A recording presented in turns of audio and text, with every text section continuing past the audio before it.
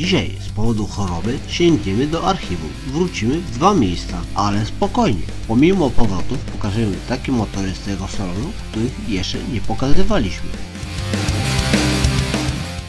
Zaczniemy od pięknego brytyjskiego Triumfa. Taki triumf to jest pełny powrót do klasyki.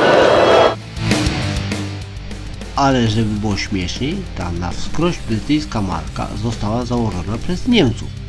W 1887 roku zaczęli robić rowery, ale już w 1902 zakłady opuścił pierwszy motocykl, który miał, uwaga, całe dwa konie mocy.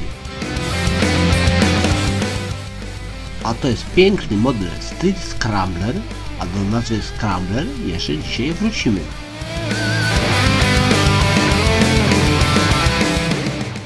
Triumfa faktycznie w naszym pierwszym reportażu nie było, jak również nie było Harley'a. Był Indian, ale nie Harley.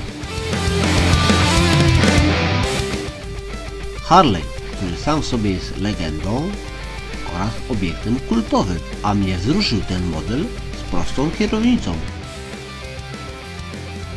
A skoro motory, to również i kaski, a skoro kaski, to wrócimy do Jabłony do sklepu z kaskami Shoi, żeby pokazać Wam motor, o którym zapomnieliśmy.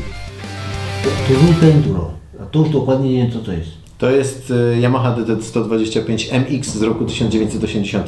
To nówka sztuka. Nowiuteńka, tak, t- 38 lat skończyła chwilę temu, także świeżynka.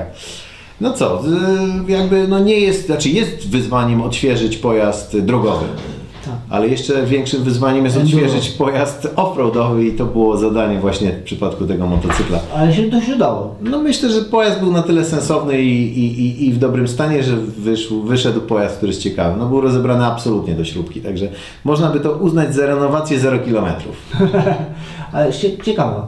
A to jest dokładnie jeszcze raz pojemność, To jest 125 cm sześciennych w dwusuwie i czyli dość mocny. a, no wiesz, no mocny jakby jak na, znaczy ówcześnie niespecjalnie mocny, ale promowany przez producenta jako pojazd, który jest do pełnego wykorzystania na drodze. Ja nawet mam taką y, swoją prywatną teorię, że to jest y, jeden z kilku protoplastów scramblerów, ponieważ Yamaha go promowała w swoich katalogach jako pojazd, który się sprawdzi na drodze i popierając to specyfikacją techniczną, czyli wyobraźmy sobie, że pojazd z 1980 roku o pojemności 125 dwusuwowy miał skrzynię szóstkę. No, o, E, awantura. No tak, to jest raczej, raczej, Awantura. raczej awangarda i awantura, tak.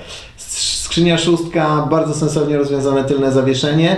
No i jak na niego spojrzymy, się naprawdę nadaje według współczesnych standardów na drogę jako scrambler po, po, po delikatnych modyfikacjach. Ale, ale po delikatnych modyfikacjach. Tak jest. Tak.